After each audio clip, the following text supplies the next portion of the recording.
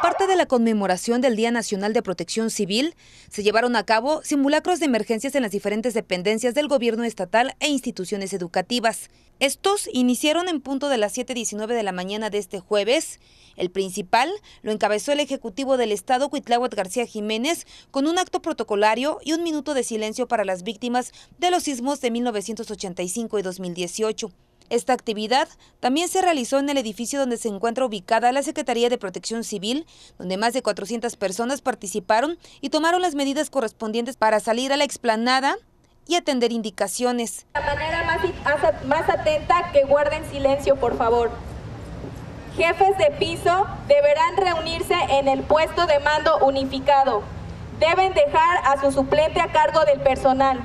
Deben entregar el conteo de su personal, así como se va a realizar la inspección rápida.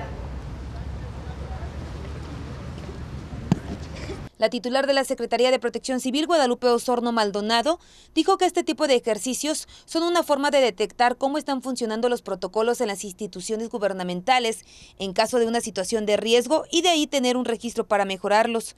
Indicó que se cuenta con un sistema de capacitación para las unidades internas donde se les instruye con elementos necesarios en materia de protección civil y con ello se ha tenido un gran avance. Respecto al tema de la capacitación de servidores y servidoras públicos de gobierno estatal, tenemos con la Secretaría de Finanzas y Planeación un programa especializado de diplomado para los miembros de las unidades internas de protección civil.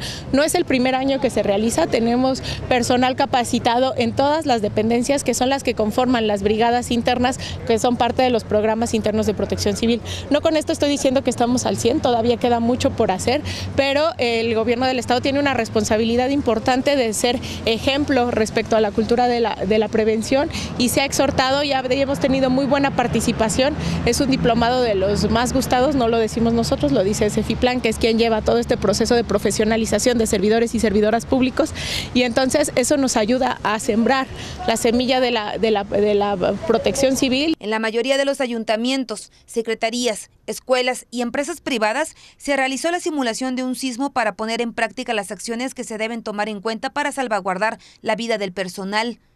México ha sido víctima en dos ocasiones de fenómenos telúricos que han acabado con la vida de muchas personas y ello ha obligado a contar con medidas de protección. Con imágenes de Eddie García, Sara Landa, Mega Noticias.